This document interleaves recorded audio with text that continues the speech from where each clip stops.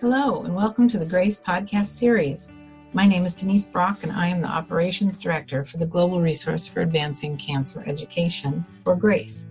In this podcast series, we interview patients, advocates, and healthcare professionals to provide the most updated information for our community and to highlight important issues facing those dealing with a cancer diagnosis. We hope you find this information valuable. For questions or comments, please visit us at cancergrace.org.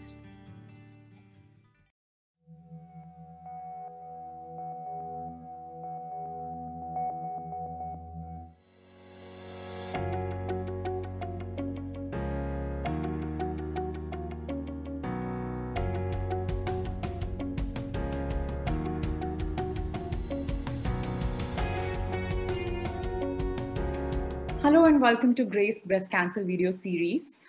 My name is Medhavi Gupta. Today we'll be chatting about surgical management of breast cancer. I'm joined by Dr. Jessica Young. Dr. Young is an assistant professor with the Division of Surgical Oncology at Roswell Park Comprehensive Cancer Center in Buffalo, New York. She is also a member of National Comprehensive Cancer Network or NCCN Guidelines Panel for Breast Cancer. Welcome, Dr. Young. It's a pleasure to have you with us.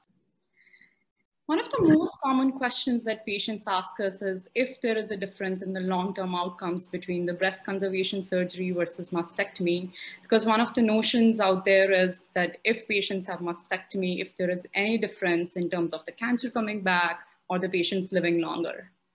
That's absolutely a great question. And one huge myth I think in breast cancer care is that doing more surgery is not. Everyone thinks doing more surgery is better when in fact it really is not. So there were a lot of studies uh, quite a few decades ago that actually looked at breast, uh, looked at mastectomies versus doing lumpectomies and doing radiation in addition to lumpectomy. And really they saw that the survival was exactly the same between these two large groups. And so we really, as a standard, consider those to be equal in terms of survival. Um, when we talk about how often breast cancer can come back in this breast, so on the side where you actually have breast cancer now, um, obviously there's going to be a little bit of difference. So if we take your entire breast off, as we do for a mastectomy, um, I wish I could tell you we got every single breast cell that's out there, but we know that we do leave a little bit behind. And there's maybe about a one or 2% chance that breast cancer can come back along the chest wall or the skin after you have a mastectomy.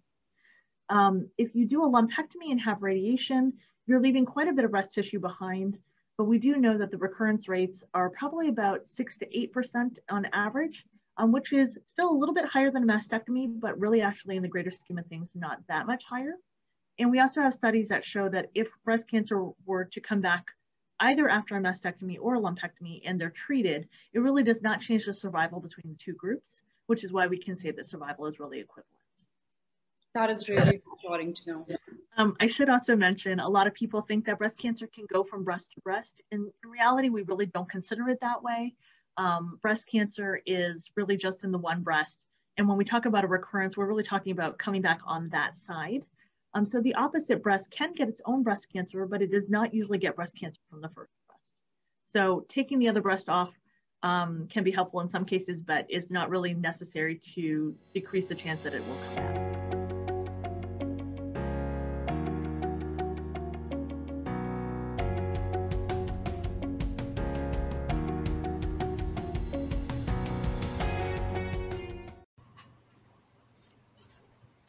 Thank you again for joining us. This podcast was made possible by the generosity of sponsorship from our friends at Lilly and Exelixis.